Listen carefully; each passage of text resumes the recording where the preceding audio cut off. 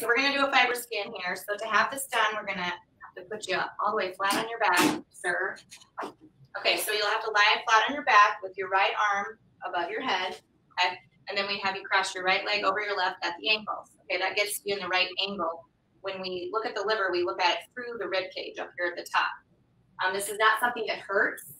It's just um, it's it's a combination of ultrasound and the vibrations. It's a kind of a non-invasive way to give us a good look at your liver, look at the fat around your liver, as well as um, if there's any potential stiffening or scarring in the liver.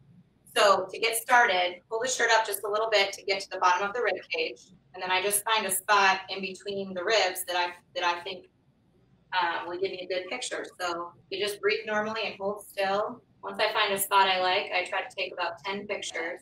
Um, we try to focus on just the center of the liver.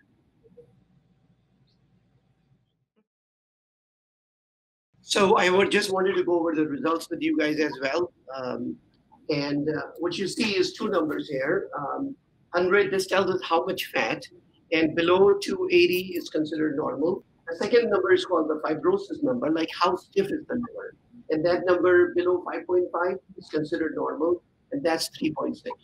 So you see this test, there was no discomfort. And it can be done pretty fast. Usually might cost 250, 300, 400 bucks. We offer it free here. You can go through the website and uh, arrange it with us.